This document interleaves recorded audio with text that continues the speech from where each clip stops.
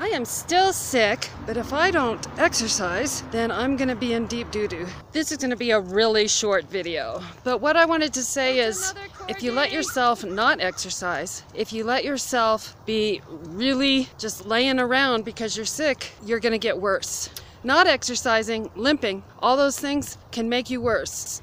When you're limping, it can make you worse on the other side. If you're not exercising, you get fat and your muscles atrophy. So I think it's really important, even if you can't go too far or you're scared to go because you're sick, to go. Take your cell phone, you can call someone if you don't make it, and if you feel bad, you can just turn around. So this is my effort to try and do that. Something I didn't expect. My walk turned into a social occasion for doggies and people. So I didn't really walk or jog slowly all that much. I just met all these people. We talked about things other than health problems.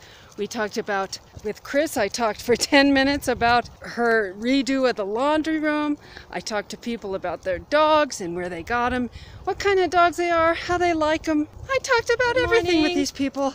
I must have been out here an hour. I was worried about a walk, and instead it turned into something that's good for me. Something about other people and what they're doing, and not concentrating on my own issues. Thinking about your health all the time is not a good idea, and I tend to do that, especially since I'm making these videos. But the videos are just showing what I'm thinking about. So you have a great day, Fibro Nation. Get out there, walk, and have a happy Fibro Day.